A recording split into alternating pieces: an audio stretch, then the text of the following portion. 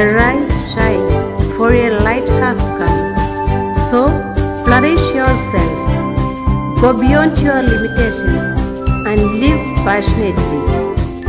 Have a nice day.